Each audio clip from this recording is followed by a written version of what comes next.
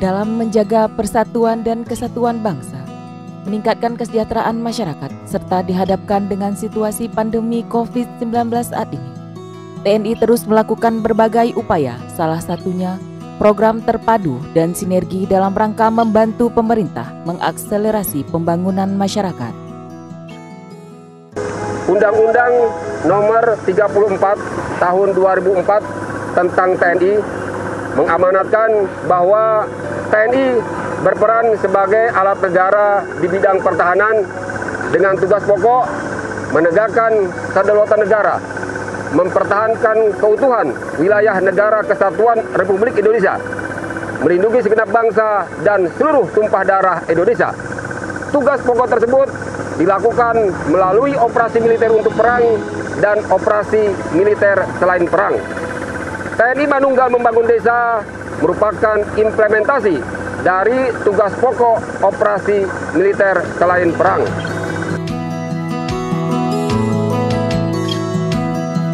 Komitmen Kodam Iskandar Muda untuk percepatan pembangunan dan kesejahteraan masyarakat khususnya daerah Aceh menjadi tujuan utama. Ini membantu masyarakat. Selama ini masyarakat untuk mengangkut hasil kebunnya mereka berjalan kaki. Harapannya e, nanti dia ke kota lebih mudah. Di sini seluruh kalau kita lihat areal sini semuanya perkebunan. TNI itu kan punya 8 wajib TNI. Semuanya itu bagaimana kita dekat dengan rakyat. Kekuatan TNI itu adalah rakyat. Harapannya dengan kegiatan ini kemanunggalan TNI rakyat semakin kuat. TNI itu di, dirancang, didesain untuk bertempur dan segala macam kegiatan bersama-sama rakyat untuk melaksanakan semua tugas pokoknya. TMMD yang digelar diharapkan dapat menumbuhkan kembali harapan masyarakat, meningkatkan jiwa nasionalisme dan kebangsaan yang saat ini sudah mulai luntur karena semakin minimnya pemahaman terhadap sejarah dan budaya bangsanya. Kami sangat uh, berterima kasih kepada tim TMMD ini telah membangun uh, kampung kami Darussalam, Semak Longkip, Kota Salam.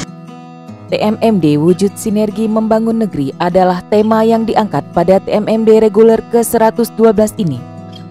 TMMD ini yang ke-112 merupakan kerjasama antara TNI dengan pemerintah daerah dalam rangka percepatan pembangunan yang ada di daerah. Untuk Kodam Iskandar Muda, TMMD dilaksanakan di tiga Kodim, yakni Kodim 0103 Aceh Utara, Kodim 0104 Aceh Timur dan Kodim 0118 Subulus Salam. Dengan semangat dan sinergitas TNI, Polri, pemerintah daerah, masyarakat, dan komponen bangsa lainnya, pada TMMD reguler kali ini dibangun beberapa sasaran fisik di tiga wilayah Kodim, yakni Kodim 0103 Aceh Utara, mulai dari pengerasan jalan sepanjang 1.600 meter, normalisasi saluran air tambak, rumah tidak layak huni atau RTLH sebanyak satu unit, rehab dan pengecatan menasah dan pembuatan lapangan voli.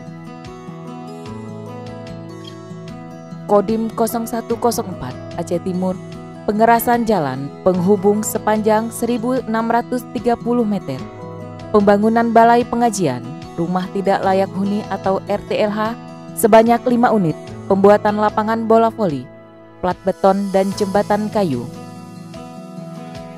Bukan oleh masyarakat, terutama dalam membangun infrastruktur dasar yang hari ini tidak tidak ada jalan. Nah, sekarang dengan berkada TEMD ini sudah ada jalan, sehingga masyarakat di sini bisa membawa hasil-hasil panen tambak udang ikannya dengan mudah. Masyarakat sendiri memberikan kesaksian bahwa memang sangat terbantu dengan adanya program TNMD ini.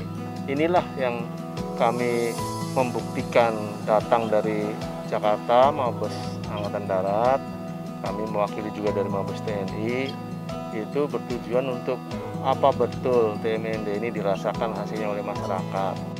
Sedangkan Kodim 0118 Subulus Salam, pembentukan badan jalan 2100 meter, pengerasan badan jalan 700 meter, pembuatan tiga buah jembatan, pembuatan talut, dan pembuatan parit kanan kiri jalan. Satgas TMMD juga melakukan kegiatan non-fisik, memberi pengetahuan dan keterampilan kepada masyarakat desa dalam rangka meningkatkan kesehatan, kemandirian, dan kesejahteraan.